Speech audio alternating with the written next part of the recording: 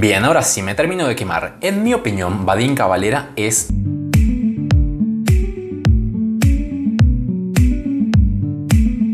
Muy buena gente, ¿cómo están? Espero que requete bien, porque hoy vamos a analizar juntos cómo fue toda su progresión y cómo entrena actualmente Vadim Cavalera. Y al final de este video, así como en todos los de esta serie, voy a meter mis manos en el fuego y voy a explicarte si es que yo considero que él es un chuzado o si él es un natural. Por supuesto, como siempre, rigiéndome en los parámetros que te comenté en este video para detectar a un chuzado. Bien, Vadim Cavalera mide 1,88 y pesa 85 kilos, lo cual, considerando también su porcentaje de grasa corporal, entra dentro de los límites aceptables del FFMI para detectar a un natural o separarlo de un chuzado. Eh, si no sabes lo que es el FFMI, puedes mirar ese video y te explico exactamente cómo detectarlo de acuerdo a ese parámetro. Bien, una vez dicho eso, comencemos. Para detectar a un chuzado es muy importante ver la progresión de esa persona. Si en cuestión, no sé, de 5 meses cambia muchísimo su físico, aumenta mucho su masa muscular, ya es para sospechar, como por ejemplo en el caso del actor de Thor. Eh, Chris Hemsworth, que lo vimos en el video anterior, el tipo como que muy rápido cambió su físico. ¿sí? En el caso de este youtuber vamos a ver que le lleva bastantes años su progreso y que la verdad es que no es tan bestial. Incluso fíjense que él pesa 85 kilos. ¿sí? El actor de Thor pesa incluso más de lo que él mide, siempre con un volumen altísimo comparado con la clase de ejercicios que él hace. Bueno, no me doy más vueltas y comencemos. En el 2001, el tipo, podemos ver acá que él dice que tenía 12 años, no se parece más grande, pero bueno, eh, él entrenaba en el patio del colegio con barras ahí, con lo que podía encontrar. Y bueno, tenía un físico, podemos decir, bastante bueno, digamos, para alguien de 12 años, pero el tema dice que no tenía muchos eh, recursos, no había gimnasios en su pueblo, digamos, en donde él vivía en Ucrania. Pasó el tiempo, se metió en un gimnasio en 2004, bueno, ya podemos ver que empieza a progresar bastante más. Y algo interesante de notar es que el tipo es claramente un ectomorfo, o sea, si bien está bastante entrenado, el ancho de sus hombros no es tanto comparado con el ancho de su cadera, es un cuerpo, digamos, con extremidades largas, un tipo alto, flaco naturalmente, aunque sí podemos decir que progresó bastante en su musculatura. Fíjense que podríamos calificarlo como un ectomorfo tirando a mesomorfo, sí, pero bastante flaco, digamos, naturalmente. Con el paso del tiempo, él comenta cómo es que se mudó a Nueva York y bueno, ahí comenzó a entrenar un poco más, como que quería seguir progresando, quería seguir progresando y más que nada era como que dice que le aburría entrenar dentro de los gimnasios, como que eran muy monótonos esos ejercicios. Y él aprovechaba las construcciones, ahí las barras que tenía, qué sé yo, para colgarse, hacer flexiones y lo que sea, digamos, lo que podía conseguir, porque dice que tampoco tenía tanto dinero, o sea, se mudó a los 18 años a Nueva York y bueno, como que le costaba bastante más. Por supuesto, este video que estoy analizando acá, ustedes lo pueden encontrar en su canal, es un video muy pero que muy famoso. Algo que él comenta es que le gustaba mucho el deporte, hacer mucha variedad de deportes y dice que con el tiempo, digamos, como que empezó a surgir de a poco, pero muy de a poco, eh, la moda actual, digamos, que es la calisteña y bueno, el street workout, digamos, trabajar en la calle, pero que aún así en YouTube, por ejemplo, no se encontraba tantísima información como ahora, entonces él lo que podía eh, lo sacaba de por aquí, de por allá, viste, había youtubers en aquel entonces, pero como que no había tanta información, entonces los ejercicios que él veía por ahí, este, dice que él los intentaba replicar, pero bueno, este, digamos a pulmón, era como que él lo hacía como autodidacta. Y bueno, por supuesto, él empezó a ver que esos ejercicios le comenzaban a salir, qué sé yo, los practicaba más y más y más, y era como que se ponía metas muy altas y las conseguía, ¿sí? Siempre tenía esa mentalidad muy dura. Bueno, dice que después consiguió el típico chaleco que él tiene, digamos, de, peso, eso es valiosísimo si estás haciendo dominadas o calisteña, este, es muy bueno que te consigas uno de esos porque te va a ayudar un montonazo. Y bueno, con el paso del tiempo ya se armó su grupito, qué sé yo, de amigos que hacían calistenia y demás, y ya se empieza a ver cómo es que, eh, fíjense, su físico empieza a cambiar bastante, ya no es el cuerpo de un niño, sino de un adulto. Para ese entonces, fíjense que su físico se acerca bastante al Badín que conocemos. Comenta él también que fue pasando el tiempo, él empezó a hacer un viajes por el mundo y demás, bueno, entrenaba cuando podía, donde podía qué sé yo, y que aún así él quería mantener su físico. Fíjense que ahí ya sus brazos no están tan grandes como actualmente, pero bueno, seguía manteniendo un buen físico, qué sé yo, por supuesto genética privilegiadísima, digamos, los abdominales bien marcados, qué sé yo, hombros no uff, requete ancho, pero sí bastante decente, el pecho bastante cerrado, digamos, todos factores que ayudan a la genética a verse mejor, digamos, el bíceps bastante largo. Bueno, si quieren que haga un video respecto a la genética y bueno, cómo comparar una genética buena, una mala, eh, ustedes simplemente pídanmelo en los comentarios. Bueno, yo les traigo un video con todo gusto. Algo importante que él menciona es que durante el tiempo que él estaba viajando, que a lo mejor no podía entrenar tanto, eh, que él seguía entrenando. Si eso es algo que yo siempre fomento, por ejemplo, con la serie esa de tonificación en 4 minutos, es como que yo digo, bueno, no tenés excusa, siempre que puedas, al menos tenga un ratito, entrenás. Y bueno, eso es algo que él hacía. Eh, se dio cuenta en un momento que el clima muy frío como que dificultaba, digamos, el entrenamiento, entonces por eso se mudó a Colombia en el 2014, fíjense acá está, eh, y bueno, se le ayudó bastante, ¿entendés? Porque si tiene que estar, digamos, encerrado en un gimnasio, no puede salir, qué sé yo, y bueno, le gusta entrenar en la calle, por supuesto, al aire libre, era como que eso le dificultaba bastante su progreso. Empezó a practicar un montonazo de disciplina, un montonazo de flexiones, un montonazo de ejercicios distintos, eh, bueno, se ponía metas, digamos, más que nada variadas, a él como que le aburría eh, la monotonía dentro de los gimnasios. Comenzó a pasar el tiempo y por supuesto ya logró, digamos, prácticamente los ejercicios y la calidad técnica que le estamos viendo ahora, digamos, actualmente. Dice que, bueno, en ese momento ya empezó a volverse muy, pero que muy de moda la calistenia y, digamos, no sé si tantísimo como la vemos ahora, pero bueno, sí bastante famosa. Y fue entonces, bueno, cuando él comenta que empezó después, un par de años después, fue de hecho en el 2017, a fines del 2017, empezó a hacer esos videos, los subía a Instagram y demás, y después ya empezó a subirlos en YouTube. Y bueno, ya es el resto es todo historia conocida, ¿no? Es como que empezó a hacer esos videos que ya conocemos actualmente. Desde el 2018-2019, su canal pegó un pedazo de boom y bueno, es lo que tenemos actualmente. Su físico, en cuanto a su físico, digamos, eh, podremos ver algunas cosas. Y vamos a comenzar a analizar un poco y después vamos a ver cómo entrena él exactamente. Pero bueno, fíjense, es un cuerpo totalmente definido, sí, digamos los abdominales, se ven también un par de costillas, no es un porcentaje de grasa tan pero que tan bajo, digamos que es muy complicado mantenerlo todo el año. De hecho me preguntaron ustedes respecto a Jeff Cavalier, no sé si lo conocen, bueno, este tipo que está acá, eh, que está muy marcado todo el año, ¿viste? Como que eso es algo ya un poquito raro, pero bueno, ya lo vamos a analizar en otro video si ustedes quieren. El físico de Vadim es como que vos te das cuenta que tiene cierto porcentaje de grasa, como ayuda muchísimo, de hecho, a tener fuerza, a tener cierta energía, porque si la tenés muy baja la grasa, ya es bastante más complicado. Fíjense que tampoco es que él está sumamente vascularizado, o sea, se le ven un par de venitas, qué sé yo, pero no es que está todo raya, todo lleno de venas, digamos, como que, de hecho, algo que ocurre, digamos, cuando uno consume sustancias externas es que la piel, podemos decir, se empieza a pegar cada vez más y más a los músculos y bueno, se ve todas esas venas súper marcadas. Algo que tampoco se ve es que los trapecios los tenga tan sumamente sobresalientes.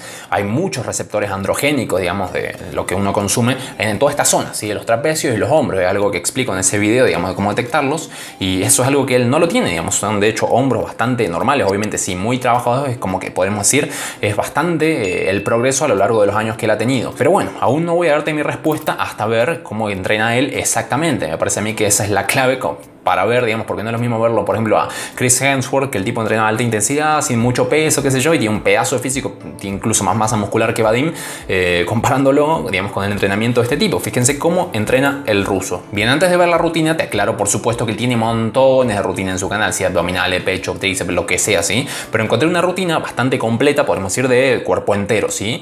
Y lo que me llamó la atención son los pesos que levanta este animal, ¿sí? Fíjense, empieza haciendo dominadas, eh, pero con montonazo de peso, bueno, ahí está calentando simplemente, pero después empieza a cargarse 30, 40, 50 kilos. Y uno dice, si uno está haciendo ejercicios de peso corporal, que además se pone 30, 50 kilos haciendo dominadas, o sea, anda a hacer vos, incluso no sé, probá eh, hacerla con 20 kilos. Eh, pesadísimo. Después vayan y vean este video y van a ver lo brutal que es ese entrenamiento. Más que nada se enfoca por supuesto en ejercicios de fuerza, también mezclándolos con hormona del crecimiento. De hecho el video este dice cómo aumentar la masa muscular, pero hay algunos ejercicios que él podemos decir se enfoca completamente en el aumento de la testosterona y de la fuerza. Al menos no es que se enfoca, no sé si lo hace conscientemente o qué sé yo, pero bueno, es bastante la fuerza que se requiere para hacer estos ejercicios, por lo cual si uno tiene la testosterona más alta también va a aumentar esa masa muscular, por supuesto, ¿no? Bueno, hace varios ejercicios, qué sé yo, dominada, bueno, después vayan y vean ese video, la verdad es que muy, pero que muy bueno, bastante motivador. Este, fíjense, todos los ejercicios acá para tríceps, de hecho los tríceps son algo que se le marcan bastante siempre en todos los videos, como que fíjense que los bíceps bien, pero los tríceps el doble. Eso es algo importante, ¿sí? si vos querés brazos más grandes, tenés que entrenar muchísimo el tríceps, porque de hecho cubre, podemos decir incluso el doble de superficie en el brazo que el bíceps. Entonces, si vos entrenas los tríceps, tu brazo en general va a parecer más grande, va a poder llenar la camiseta finalmente. Básicamente lo que les voy a mostrar de este video es que el tipo levanta muchísimo peso, después obviamente también con pesas rusas, hace sentadillas y demás. Algo que sí voy a destacar es que no se le ven nunca las piernas, digamos, no es que se saca foto en calzoncillo como otros youtubers.